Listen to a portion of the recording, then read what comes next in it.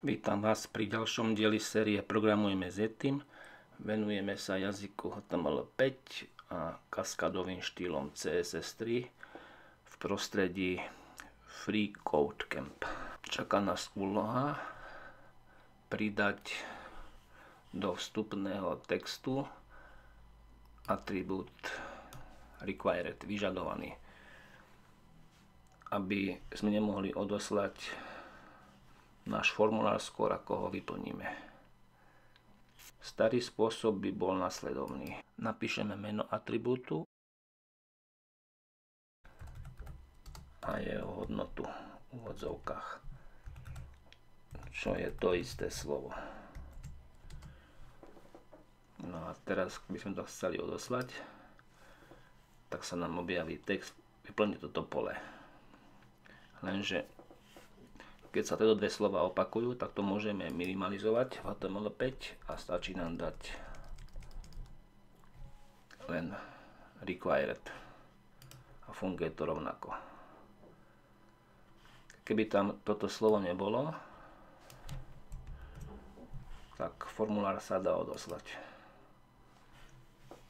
Toto, ak by ste to skúšali si tento program robiť, dajme tomu v poznámkovom bloku, tak toto slovo by sa vám neobjavilo, pretože nemáte vytvorený skript pre tento link.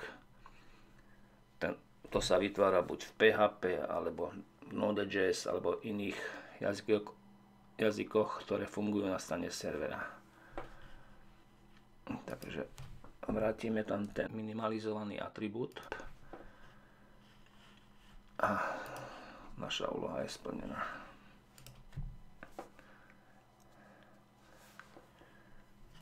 Tlačítka rádio, to sú také kružky. No a ak patria do tej istej skupiny, tak vždy môžeme vybrať iba jeden z nich. Sú to prepínače. No a ten text, ktorý k ním patrí, sa dáva do značky label. Tam má taký význam, že aby sme aktivovali ten prepínač, tak môžeme kliknúť buď priamo, priamo na ten prepínač, alebo aj na ten text. No máme pridať pár týchto prepínačov s textom indoor, outdoor. Dobre, a Prepínače, ktoré k sebe patria, majú to isté meno. Ak by tie mená boli rôzne, tak by k sebe nepatrili a dali by sa aj obidva prepínače vybrať. A tento atribút sa využíva potom aj na strane servera pri spracovaní formulára. Skúsime to najskôr napísať bez toho labelu. Takže vstupný typ bude tento raz prepínacie tlačítko.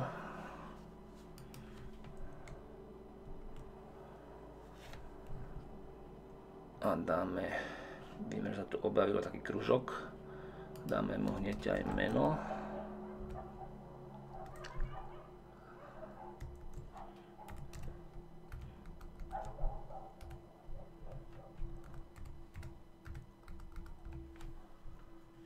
A dáme text.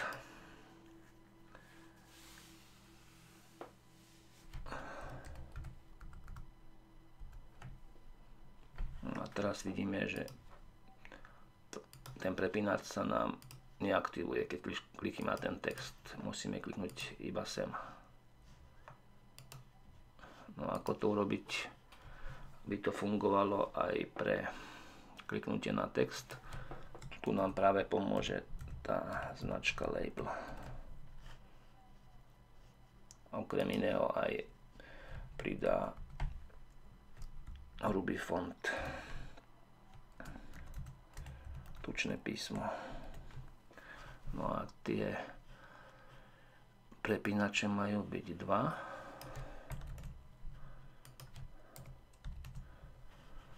A druhý má mať text outdoor.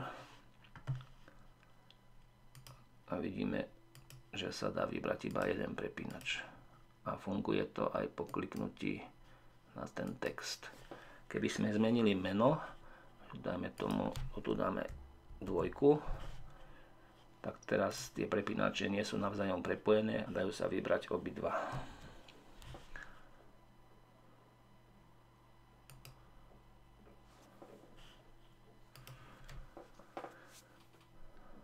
Okrem tých prepínačov môžeme použiť aj zaškrtávacie polička a na rozdiel od týchto prepínačov, kde sa dá vybrať v skupine, ktorá ku sebe patrí iba jeden. Pri týchto poličkách zaškrtávacích môžeme vybrať viacej týchto poličiek.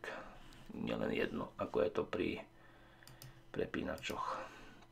Syntax je podobná, jedne čo zmeníme je typ. Takže máme pridať 3 zaškrtávacie polička. Meno bude osobnosť a niečo budeme meniť text pre label. A opäť ten label funguje rovnako ako pri tom prepínači. Ak by tam nebol, tak by sa nám nedalo to zakrutávacie poličko aktivovať kliknutím na ten text. Dnesko teda nepoužijeme label.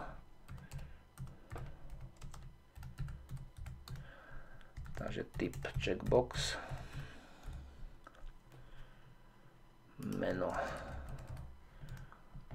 Malo byť tá osobnosť. Perso. A text dáme hravá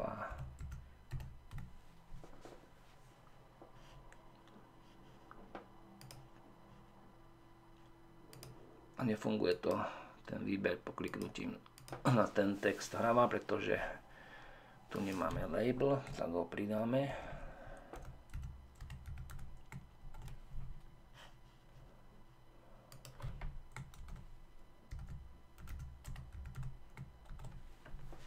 No a teraz ten výber funguje už aj po kliknutí na text. Máme pridať 3 checkboxy. Druhý, tretí. Hravá Yetiovská.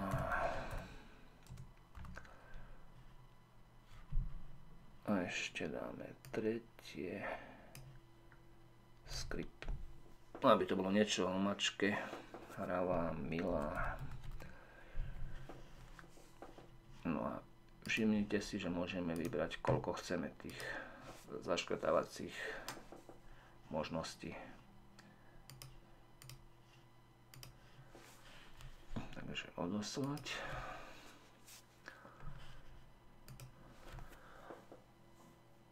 Môžeme určiť aj predvolenú hodnotu, že čo bude vybraté, ktorý rádio ktorý prepínač a ktorý checkbox a máme dať, aby boli predvolenie vybraté prvé možnosti. Podobne ako pri atribúte required, aj tu nám stačí použiť iba minimalizovanú formu. Nemusíme písať checket, rovná sa checket, stačí len takto. A to isté máme použiť aj pri zaškrtávacím poličku. A vidíme, že je vybraté vždy prvá možnosť aj pri prepínačoch, aj pri poličkách zaškrtávacích.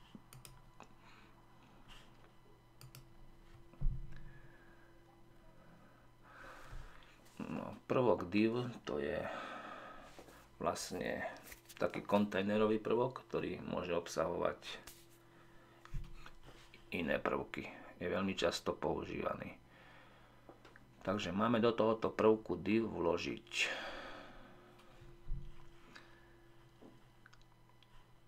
odstavec odstavec s textom čo miluje mačka a skončíme tak to značkou div, aby sme aby obsahovala toto všetko. Takže tu je, za, tu je začiatok.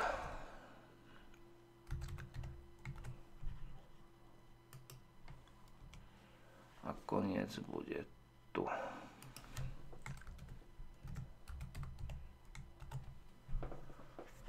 To je jediná úloha. Takže vyskúšame, či sme ju splnili. Áno.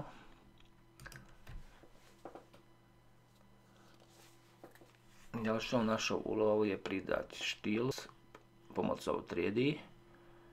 Triedu nazveme strieborné pozadie. Takže definícia triedy začína tou bodkou. Strieborné pozadie.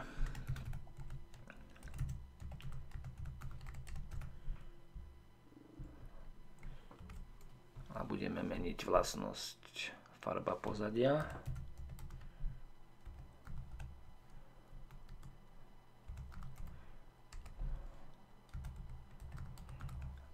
tá farba má byť strieborná. Na stránke sa nič nezmenilo, pretože musíme k tejto triede pridať triedu aj v HTML a má to byť trieda pre ten náš div. Takže trieda